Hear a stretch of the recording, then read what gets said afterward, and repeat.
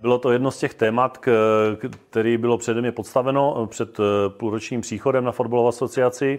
A jedná se o to, že před delším časem, bylo to i před ještě covidovou situací, vznikla velká potřeba od nejnižší úrovně klubů, že ubývají dospělí hráči, že ubývají některé kluby. Eh, během té doby došlo nějaké restrukturalizaci tím, že byla zrušena juniorská liga. Eh, B mužstva se zařadili do, právě do těch třetiligových a divizních, divizních týmů. Takže ona ta potřeba eh, vzniká, vzniká na více frontách. Samozřejmě k tomu spadá i ekonomická situace.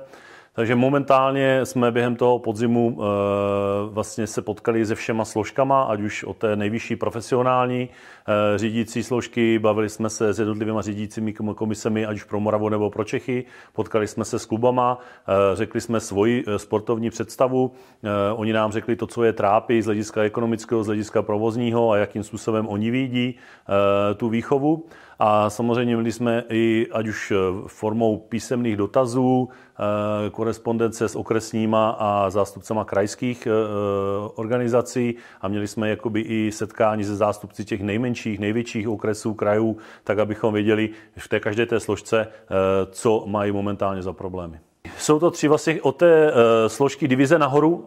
Bychom chtěli jednoznačně nastavit ten systém soutěží tak, aby dokázal profilovat a vychovávat kvalitního sportovce, kvalitního hráče, který je ještě schopen se dostat do profesionálního fotbalu. Eh, co se týče eh, téhle složky, tak ještě bychom chtěli, aby ta soutěž uměla vyprofilovat klub, který by mohl hrát druhou ligu. V posledních letech jsme zaznamenali, že eh, mimo B mužstev moc zájem o to nebyl z těch třetí ligových týmů, aby postoupili do profesionálního fotbalu.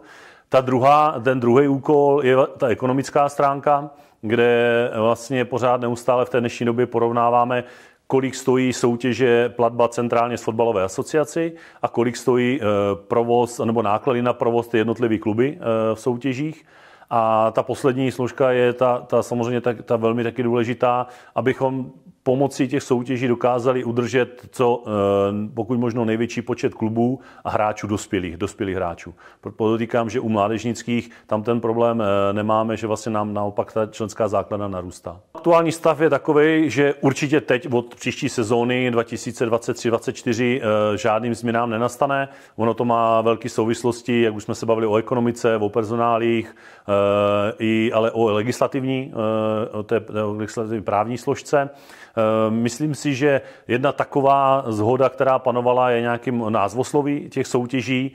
Eh, to by mělo dojít asi za rok a půl, ale ten, ten úplně, úplně nějaký jakoby zlom ve výhledu nejdříve dvou a tří let. Bavili jsme se téma, tak jak, jak jsem vám říkal, že o té uh, horní poloviny, tak aby nám to umělo profilovat toho hráče, to znamená zvýšit konkurenci, mít v té jednotlivé řídící složce jenom jednu soutěž, nejkvalitnější soutěž, a pod tím nějaké skupiny podle velikosti krajů, okresů a těch územně správních jednotek. Jestli to bude nastavený dvě, tři, čtyři skupiny, tam opravdu ještě nejsme takhle daleko. Eh, věci, ale, ale eh, kromě toho ještě jsme se bavili toho názvu těch soutěží. Spíš je to ve fázi toho, že máme informace, sbírali jsme informace a předávám spíš těm jednotlivým klubům a zástupcům těch jednotlivých svazů eh, ty sportovní hlediska, které bychom chtěli dosáhnout pomocí soutěží. My jsme si nastavili jakoby takových těch šest bodů, které se týkají sportu, ekonomiky, legislativy, IT systému, tak abychom to měli všechno propojené z hlediska personály a hráčů takže ty teďka vlastně eh, následující krok bude, že byla regionální komise, hm, která vlastně jako by skýtá každého zástupce z jednotlivých krajů, eh, ustanovila v létě, no možná to bylo i dřív, pracovní skupinu, kde jsou složky zástupci ligového fotbalu, kde jsou zástupci ČFL, MSFL a divizí krajského okresního. A to budeme mít v těch příštích týdnech, budeme mít setkání, kde už ty konkrétní body budeme řešit, co nás vlastně čeká, v jakým směru, jakým způsobem musíme tam zapracovat aby se ta realizace podařila.